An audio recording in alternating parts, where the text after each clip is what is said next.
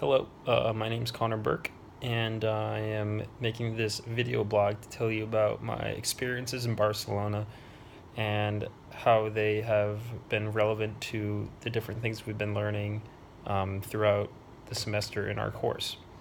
Um, so, in Barcelona, um, obviously, I've been traveling a lot of different places, um, and I've also been taking a lot of pictures while I've been going to these different places. Um, when I go to uh, different sites in Barcelona, I always want to try to capture um, my moments through these images, um, with whether it's with um, selfies that I take with myself or with other groups of people, um, or whether it's of things around me, of cool views, uh, cool buildings, cool architecture, cool paintings, just cool experiences overall that I've been um, seeing in the city. And when I travel to other places, I want to do the same thing as well. For instance, in Prague, when I went to go see the Charles Bridge, I took a video and picture of the bridge and the different sites around the bridge, such as the castle um, that is also in Prague, um, and the architecture um, in the city there as well. Um, so basically, I do this for every new experience that I witness. Um, first of all, because I'm in Barcelona, and I can take these pictures and then show them back to my family and friends um, at home in the United States, um, and also for my own um, self reflection for when I go back to the United States, um, so I can view these um, images, pictures, and videos um, and have cool memories of them.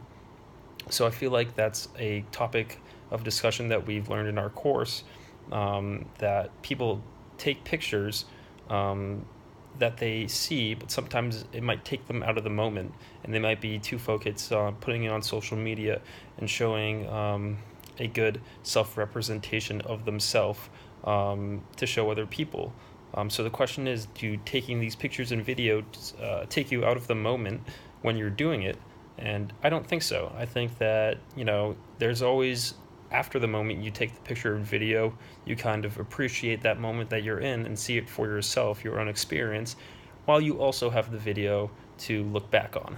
Um, I think that's having the video, pictures, and all of that is very big um, when also you're showing your experiences abroad on social media to your family and friends um, so they can see what you have been doing and um,